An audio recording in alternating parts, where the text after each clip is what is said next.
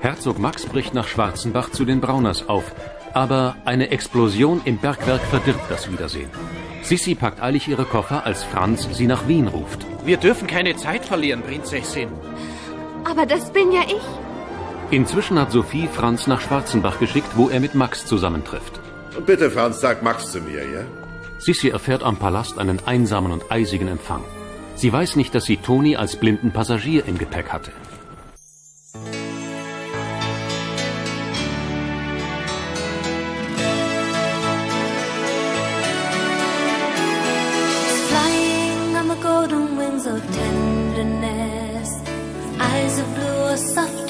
The sky. No one there to take away her loneliness. Many nights that little queen would cry. See the lucky couple walking hand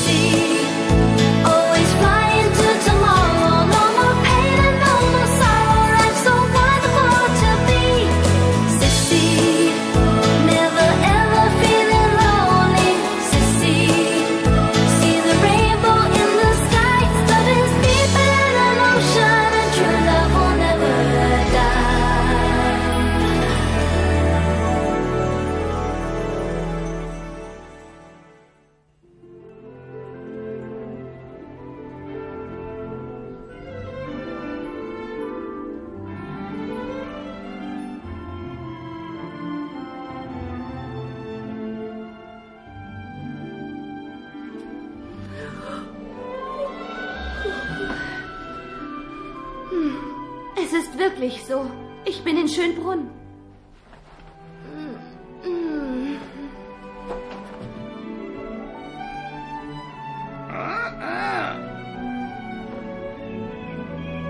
Oh, ich muss immer noch träumen. Ja, mei, ich muss immer nur Drama. Drama muss ich. Oh nein, die riechen ja himmlisch. Ach, Franz, du hast wirklich an alles gedacht.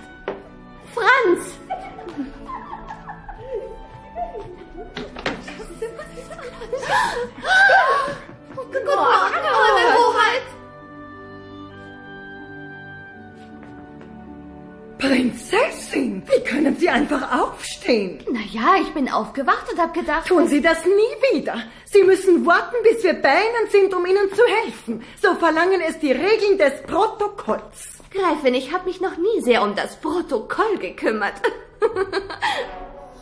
Nun, wenn die Prinzessin mir bitte folgen wollen, wir werden jetzt fortfahren mit ihrem Bart, mit ihrer Frisur, mit ihrer Garderobe und mit dem Anpassen ihrer Kleider für diese Woche.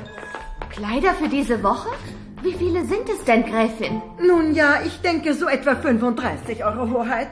35 Kleider, sagen Sie? Aber das macht... Oh Gott, oh Gott, also... Fünf Kleider pro Tag? Das ist das absolute Minimum, Prinzessin. Wir müssen ganz vorsichtig sein, Pucki. In solchen Palästen schleichen überall Diener rum. Sissy hier zu finden wird gar nicht so leicht sein.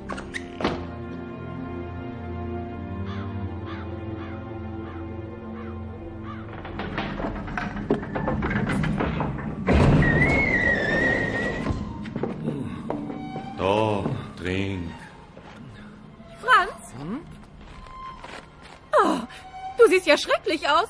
Du bist noch verdreckter als das Zimmer, das man mir hier reserviert hat. Ein richtiges Rattenloch. Du musst etwas dagegen unternehmen. Wir werden uns später darum kümmern, Helene.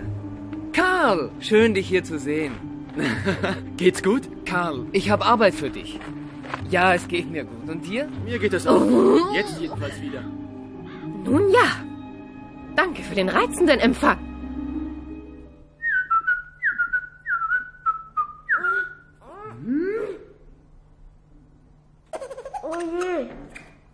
Guten Morgen, Kaspar. Guten Morgen, Gräfin Mathilde. Also, was halten Sie von unserer Prinzessin? Sie ist ein bezauberndes Geschöpf, bezaubernd und charmant, ausgesprochen charmant sogar.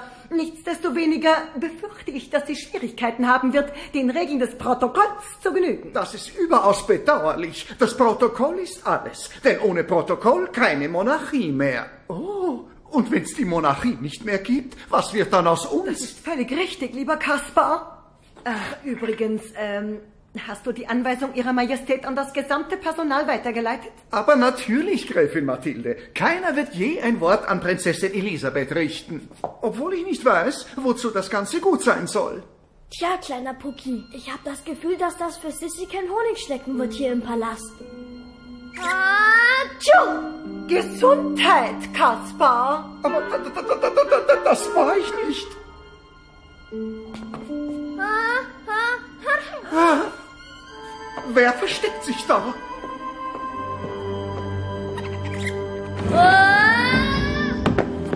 Das ist ein... Oh, oh, oh. Ein Geist mit, mit Schnupfen.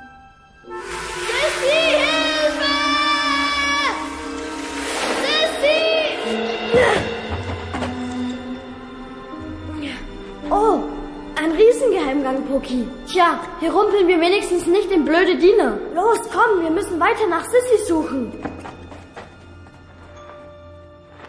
Oh, Ich muss immer nur Drama.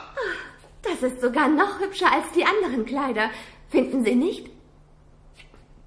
Nun, äh, vielleicht die drei Damen. Was finden Sie? Geben Sie mir Antwort. Sagen Sie, was ist los mit Ihnen? Prinzessin, bitte unterlassen Sie es, die Hofdamen zu Äußerungen zu drängen. Sie überwachen nur die Einhaltung des Protokolls. Mir und nur mir ist es gestattet, mit Ihnen zu sprechen. Ah, ich verstehe. Das wird aber sehr langweilig. Warten Sie, was ist mit Franz? Ihm muss doch erlaubt sein, mit mir zu Oh, sprechen. oh, oh, oh, oh. mm, mm. Aber ich bitte Sie, Prinzessin, brauchen noch ein rosa Haarband aus Taft. Rosa! Meinen Sie wirklich, dass das nötig ist, Gräfin Mathilde? Das Protokoll schreibt es vor. Caroline, bring das rosa Taftband.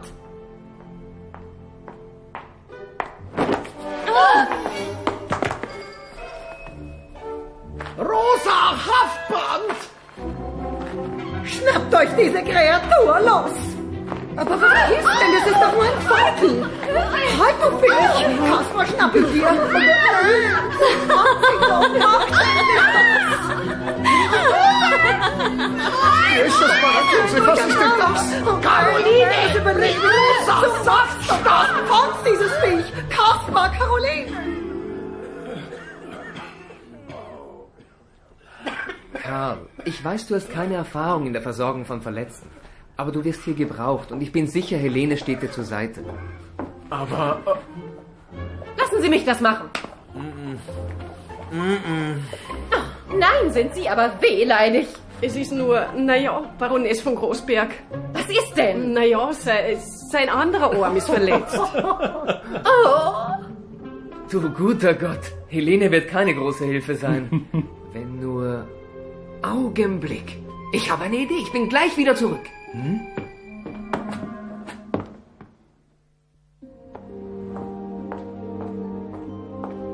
Entschuldigen Sie, können Sie mir sagen, wie ich zum Arbeitszimmer von Prinz Franz komme? Kuckuck, ich rede mit Ihnen. Ach, Sie folgen bestimmt peinlichst genau dem Protokoll hier. Bäh. Keine Angst, Fürst zu Zornig. Ich werde ihr schon die Flügel stutzen. Aber das ist doch Kaiserin Sophie. Majestät! Elisabeth, was? Was hast du hier verloren? Papa pass auf! Heute Krampfrolle! Dämon! Fürst, können Sie diesen wild gewordenen schwarzen Teufel nicht unter Kontrolle bringen? Schwarzer Ruhig, Dämon, ruhig! Fürst zu Zornig, sperren Sie diesen penetranten Papagei ins Vogelhaus. Aber Majestät, das ist... Sei still, Elisabeth. Wie kannst du es wagen, hier einzudringen, ohne die Erlaubnis zu haben? Äh, ich hab, ich hab ja nur Franz gesucht. Franz ist weit fort von hier mit einem Spezialauftrag. Der Kronprinz erfüllt seine Pflicht für die Monarchie. Eure Majestät, ich bitte vielmals um Verzeihung. Ich habe versucht, sie aufzuhalten, aber sie ist Es einfach... wird mir wohl nichts anderes übrig bleiben, als mich persönlich um deine Erziehung zu kümmern, liebes Kind. Aber Majestät, ich muss Franz sehen. Du unverschämtes Ding. Hier bin ich es, die entscheidet, was du tun musst. Und mit deiner Erziehung fangen wir jetzt sofort an. Und Plappermaul? Du wirst dieses gefiederte Ungeheuer hier am Hof zukünftig nicht mehr brauchen. Also beginnen wir jetzt mit deiner Erziehung. Gut, ich wiederhole, meine Sissi, stopp. Komm mir schnell hierher nach. Stopp. Wir brauchen dich hier. Stopp. Äh, Ich. Äh, Ich liebe dich. Ganz genau.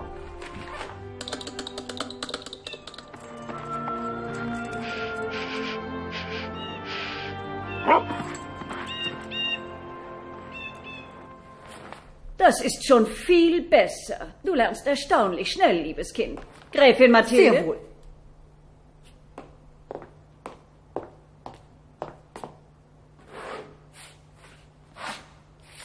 Hier eine Auflistung der Persönlichkeiten, denen du als Mitglied der kaiserlichen Familie die Hand zum Kusse reichen darfst. Und hier das Handbuch der Begrüßung von Gesandten. Außerdem der Katalog der Gewänder, der Schuhe und Hüte, die für die kaiserliche Familie reserviert sind. Du musst all das und noch weit mehr auswendig lernen. Aber ich kann doch unmöglich alles auswendig lernen. Du wirst keine andere Wahl haben, Elisabeth, wenn du beabsichtigst, dich mit meinem Sohne zu vermählen.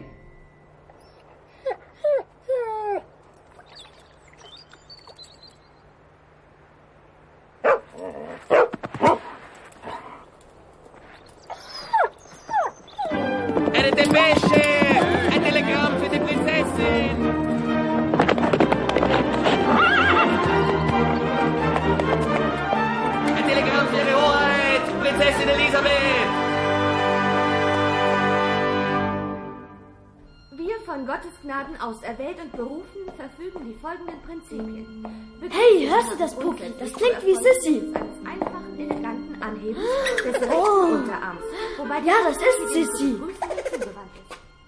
Personen von hoher Geburt, denen die Ehre einer bevorzugten Behandlung durch die Krone zukommt, sind alle Mitglieder kaiserlicher, königlicher Familien, ihrer Nebenlinien, Herzöge, Ein Telegramm für Prinzessin Elisabeth von seiner königlichen Hoheit Prinz Franz.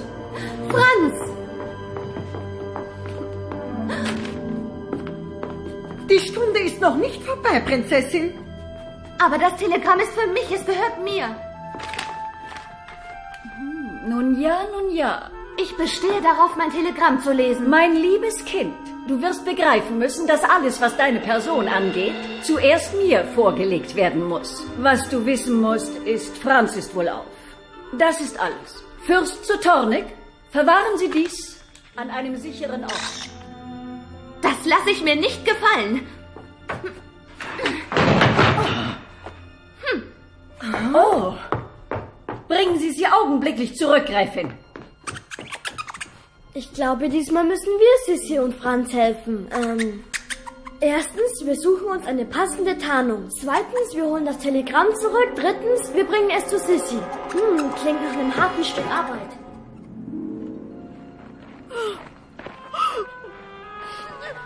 Sorgen Sie sich nicht, Frau Brauner. Wir werden nicht ruhen, bis wir Ihren Mann und den letzten Verschütteten dort unten rausgeholt haben. Los, gehen wir, Max.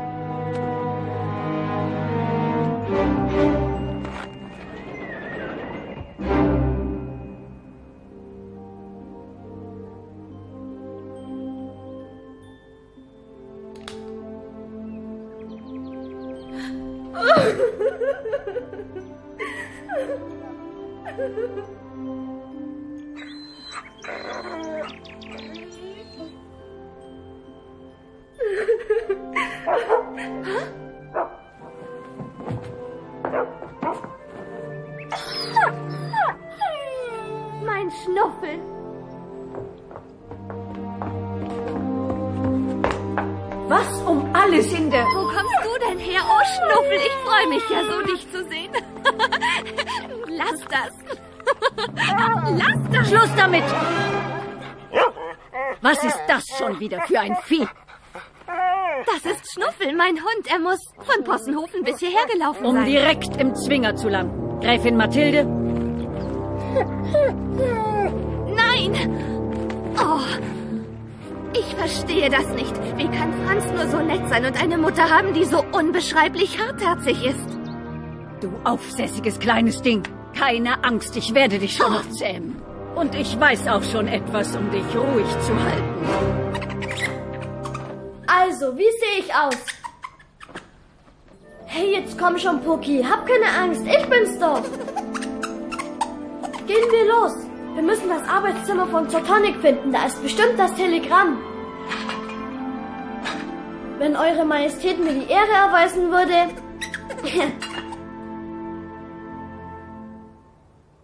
Wie lang muss ich denn noch so stehen? Ma? Nicht bewegen, Signora Principessa. Schau mal, Elisabeth. Ich bin nicht von Natur aus grausam. Es sind die Pflichten des Hofes, die so unerbittlich sind. Aber du wirst dich sehr bald daran gewöhnt haben. Hab keine Angst vor deinem lieben Onkel Zotornik. Das hier ist auf jeden Fall besser als ein Vogelkäfig. Los, komm, Dämon. Sehen wir mal nach, was unser kleiner bayerischer Gast macht. Oh. Aha. Oh nein. Keine Angst, mein gefiederter Freund. Der liebe Onkel Zotornik wird nur für ein paar Minuten weg sein. Sei schön brav. Schwein gehabt. Huh. Toni! Ich muss immer noch Drama. Drama muss ich. Der liebe Onkel Toni. Aber mal, sei leise. Was ist los, Dämon? Hörst du irgendwo Spitze? Los, schnapp sie dir. Du darfst mir diese Schmeißfliegen nicht entkommen lassen. Hey, da ist das Telegramm. Mei! Schwarzer Teufel!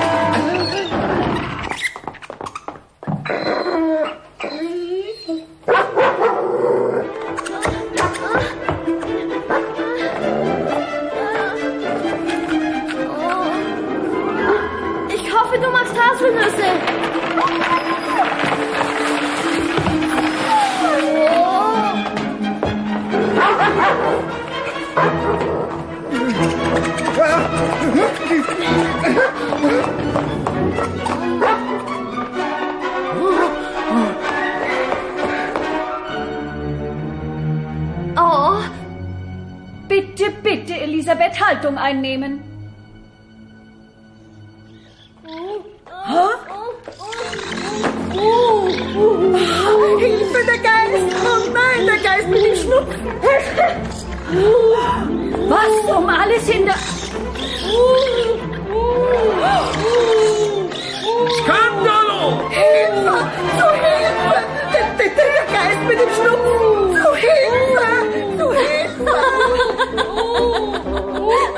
Elisabeth, beruhige dich augenblicklich.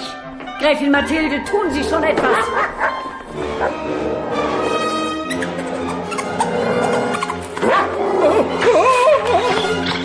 Ma, che grande catastrofe!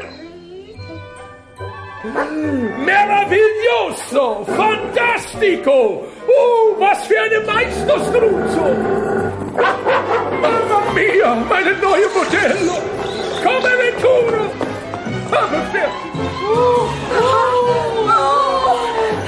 Geist!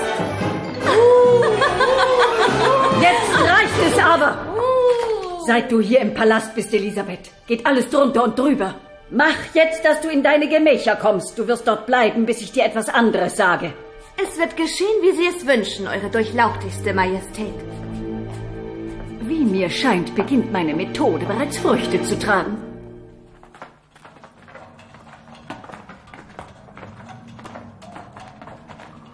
Da drüben!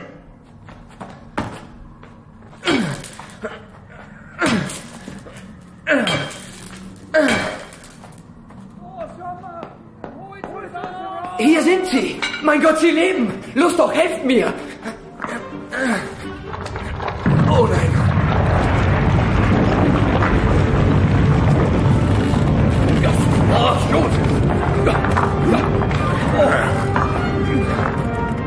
Nicht dagegen, Johann.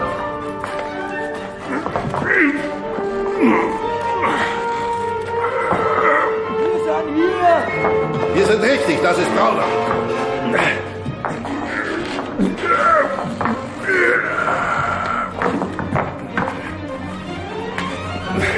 Und so. Der Herzog hier? Ja. Aber das, das gibt's doch gar nicht. Und Sie, ja, Prinz Franz? Das ist doch nicht möglich. Ich glaube, ich muss Drama. Nein, wir sind es wirklich, Herr Brauner. Wir werden es Ihnen erklären. Aber jetzt beeilen wir uns besser. Johann kann die Stütze nicht mehr lange halten. Na also, das war der letzte Männer. Los schnell, Franz! Der Stolz stürzt ein! Geh schon! Ich, ich kann Johann hier nicht allein lassen. Aber Franz! Tu, was ich sage, Max! Halten Sie durch, Johann. Ich hole eine zweite Stütze.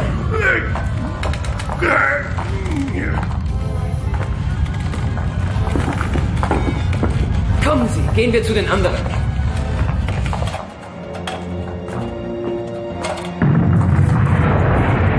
Euer Hoheit! Keine Angst, Franz kommt schon.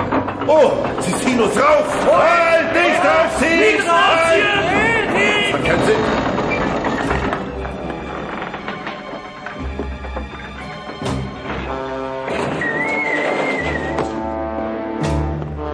Sie, Frau Brauner, Hans lebt.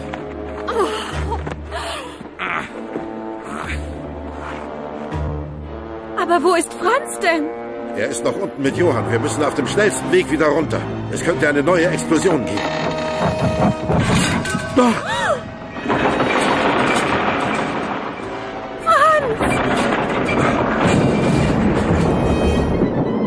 Oh nein!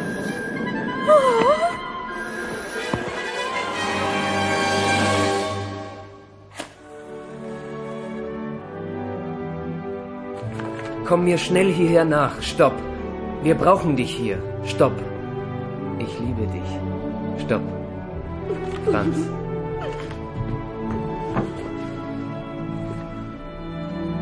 Ich komme zu dir, Franz. Jawohl, ich komme.